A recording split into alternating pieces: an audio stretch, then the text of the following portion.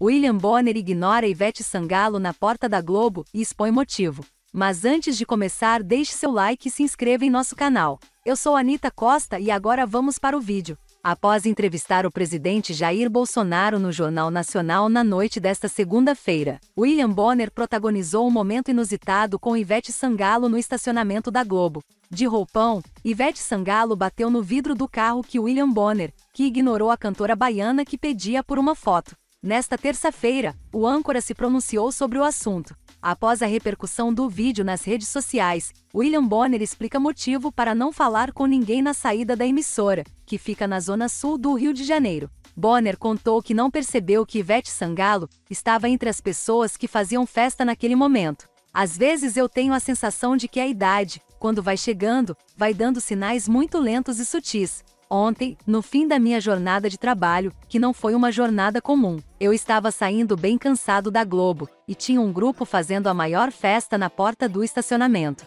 Acenando, sorrindo, gritando, batendo no vidro do meu carro, começou o jornalista. E é claro que aquilo faz um bem danado, acenei para todo mundo, mas cumpri o protocolo de segurança da empresa. Fui dormir e quando acordei hoje, eu soube que a Ivete Sangalo estava de roupão no meio daquele grupo. Desculpa, majestade. Te amo muito, completou Bonner. Se você chegou até aqui, deixe seu like e se inscreva.